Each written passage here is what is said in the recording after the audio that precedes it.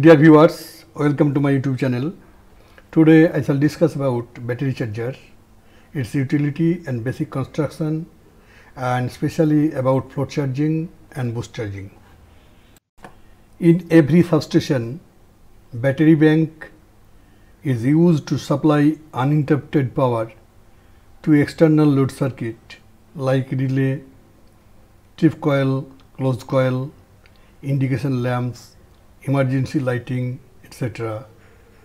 when AC power supplying at the substation is unavailable. So, battery bank is a source of power supply on emergency basis. Moreover, it is reliable also. Therefore, a charger is required to charge the battery bank. This battery bank is required to keep charged for all time so that the bank may be utilized as and when required.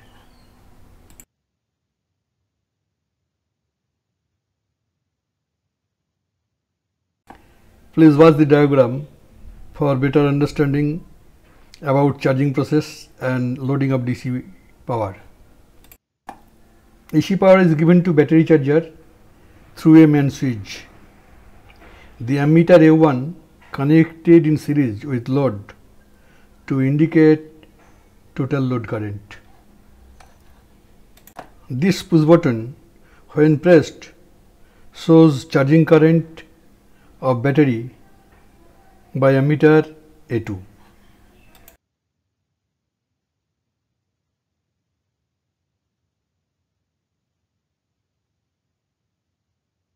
In general, there is 110 numbers of battery cells in the bank to supply to 20 volt DC. Each cell of 2 volts, so 110 into 2 volt is equal to 220 volt.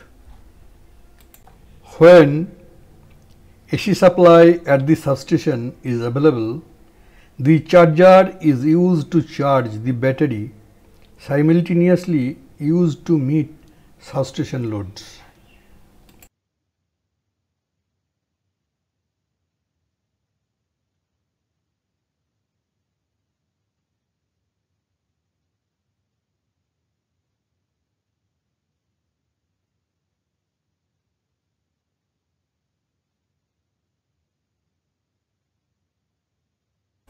This push button is used to indicate the load current of that moment through the ammeter A3.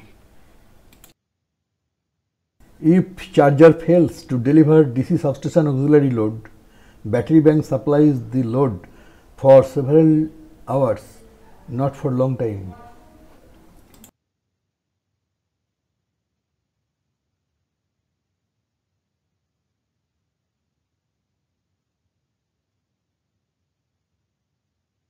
Total current supplying by the charger at any moment is equal to charging current plus load current of that moment.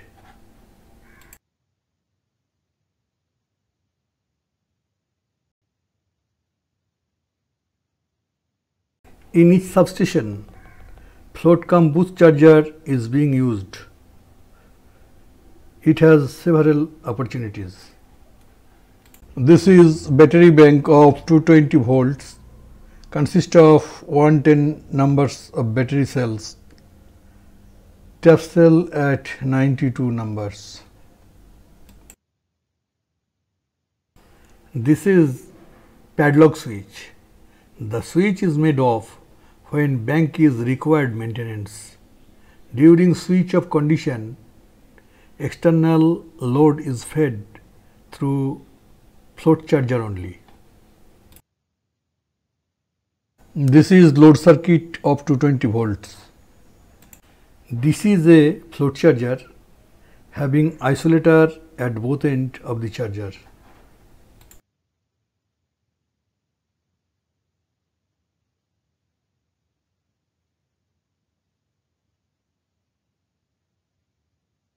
This is a contactor. When float charger is made on, the contactor closes its contacts to allow path to the charging current to battery bank.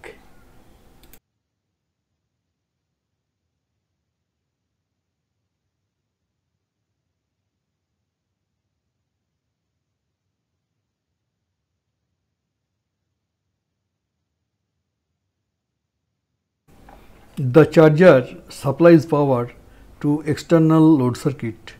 Simultaneously, it charges battery when battery bank is full charged or about to full charged. At this situation, bank takes small current to meet losses due to internal impedances etc.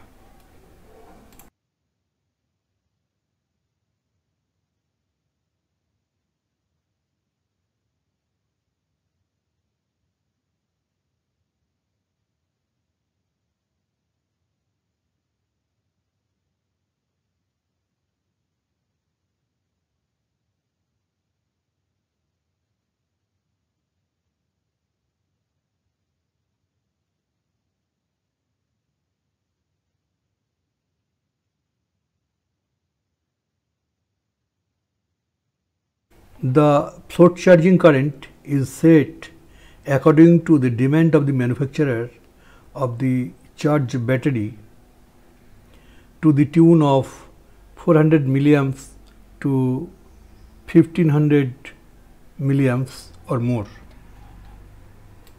If float charger is not available due to absence of AC power at substation or other reason, the load is supplied by the battery bank up to a certain specific time. This is boost charger.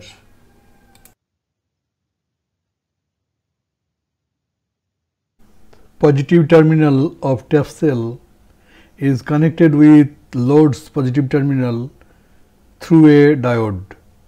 During float charging, float charging current cannot flow to battery cell through this way due to the presence of this diode. Due to prolonged uncharging of battery cells or absence of AC input to both charger due to unavailability of AC power at the substation, the battery bank is to feed power to external load circuit for hours. As a result, the battery voltage is diminished to a certain value even the end of backup time of the bank, the battery bank needs charging as soon as possible to avoid deep discharge. At such condition, float charger could not charge the battery bank quickly, it needs boost charging. Boost charger charges the bank quickly by high charging current as well as higher charging voltage. Nowadays, auto transfer to boost charger and to float charger is extensively used. The float charging current when reaches to a certain maximum value beyond its preset value the boost charger is automatically made on isolating float charger.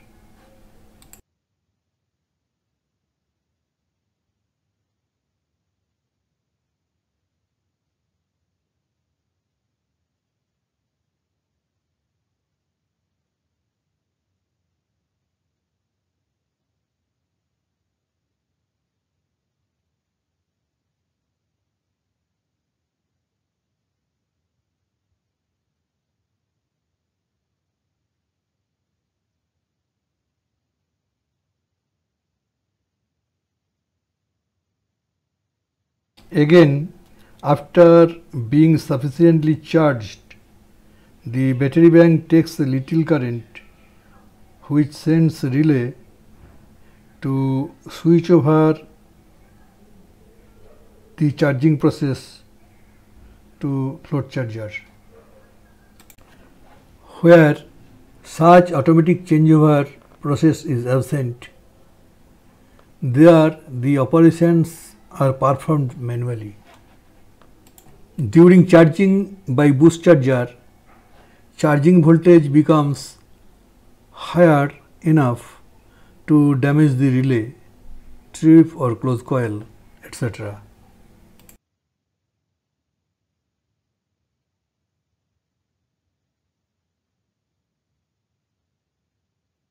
Therefore, a number of battery cells are excluded from external load circuit to avoid such damage. That is, a number of cells included to allow proper operating voltage to the instrument coil. This is called tap cell. Numbers of tap cells depend on boost charging voltage as per requirement of supplier or makers of the battery cells. As example, if charging voltage per cell becomes 2.39 volt, then number of tap cells would be 92 numbers. As 92 into 2.39 volt is equal to 220 volt. If the description of the subject is liked by you, then please subscribe, share and do comment. Thank you.